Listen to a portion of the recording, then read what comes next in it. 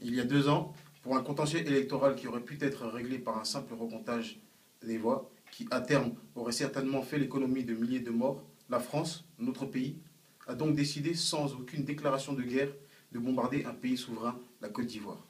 Face à cette situation, nous avons donc décidé de nous mobiliser et ainsi militer pour le respect et la défense de la souveraineté des États africains.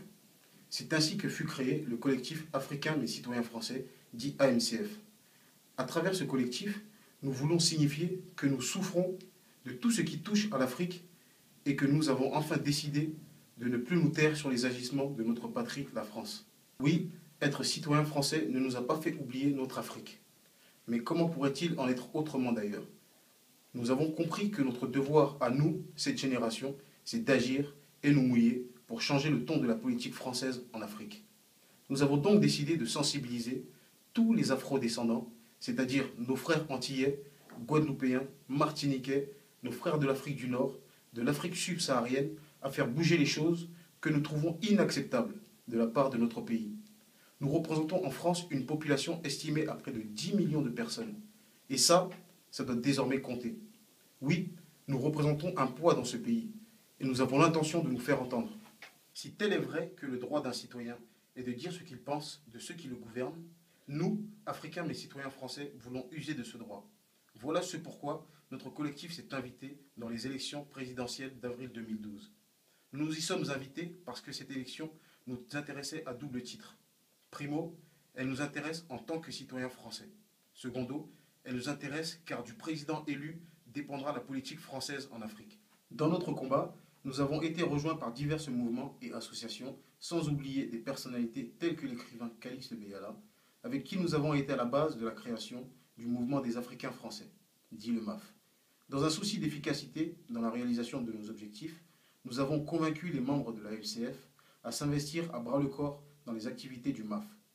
Mais après la première grande sortie de ce mouvement à Lille, ayant constaté que Mme Beyala voulait utiliser notre combat à d'autres fins, nous avons donc décidé de nous retirer du MAF. Loin de nous décourager, cette mésaventure nous a bien au contraire galvanisés et avons ainsi continué à mobiliser le plus grand nombre de Français d'origine africaine, à aller s'exprimer lors du scrutin présidentiel d'avril 2012.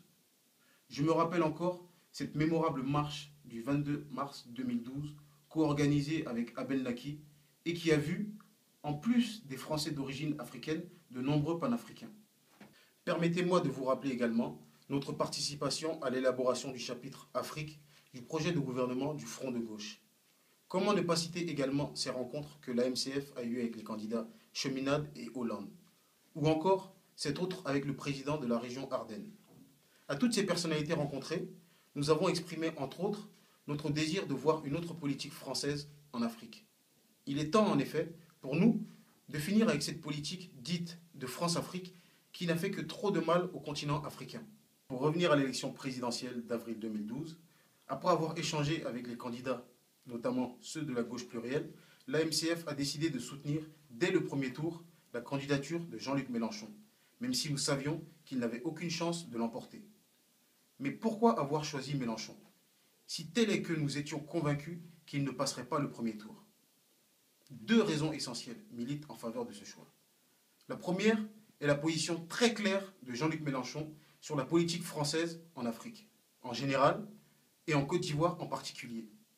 Il est en effet le premier, sinon le seul homme politique français à avoir condamné le coup de force perpétré à Abidjan. La seconde raison est, quant à elle, tactique. Nous voulions en effet nous faire une idée exacte de ce que nous représentions en termes de pourcentage. Et avec les 12% obtenus par Jean-Luc Mélenchon, nous avons pu nous rendre compte de ce que nous représentions, mais mieux, nous avons surtout retenu que François Hollande n'aurait jamais été élu sans nos voix. Et ceci est une grande victoire pour nous. Cela fait donc depuis quelques jours, un an exactement, que François Hollande a remplacé Nicolas Sarkozy à la tête de l'État français. Et pour la MCF, à part les personnes qui ont changé, la politique française en Afrique est restée la même. C'est un homme politique d'ailleurs français qui disait Si en démocratie on accepte qu'il y ait des dirigeants, c'est parce qu'ils nous donnent des gages de sécurité. Est-ce que François Hollande, au vu de nos attentes et de ses promesses, nous offre une sécurité? La réponse est évidemment non. Mais là-dessus, je serais très curieux d'entendre nos amis du MAF, qui non seulement appelaient à le soutenir, mais nous reprochaient aussi un manque de vision. L'intervention au Mali, le soutien logistique apporté aux rebelles en Syrie, le silence sur le coup d'État en Centrafrique, est-ce cela que nous attendions de notre pays? Pire, voilà bientôt deux ans que le régime de Ouattara emprisonne ou tue des citoyens ivoiriens sans que la France, notre pays, très bavarde en d'autres circonstances, ne dise rien. Voilà deux ans aussi qu'un citoyen du nom de Michel Gbagbo, croupi dans les geôles ivoiriennes, sans aucun jugement, et là encore, motus et bouche cousue. Voilà deux ans que, comme dans un film digne d'un western, Alassane Ouattara et ses sbires appliquent la justice des vainqueurs, pour ne pas dire la loi du plus fort. Mais même le dernier rapport de Human Rights Watch, qui fait d'ailleurs cas de graves atteintes aux droits de l'homme en Côte d'Ivoire, ne semble pas interpeller nos amis socialistes au pouvoir depuis mai 2012.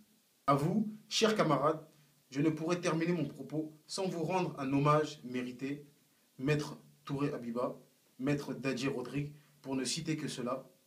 Je voudrais à vous tous, qui à quelque niveau que ce soit, avez aidé la MCF à grandir et à le faire connaître, vous faire part de toute ma gratitude et toute mon amitié. Mais il reste encore beaucoup à faire et je voudrais pouvoir compter sur vous car l'Afrique nous regarde. Oui, chers camarades, l'Afrique nous regarde, ne la décevons pas. 2017 n'est pas loin. Je vous remercie.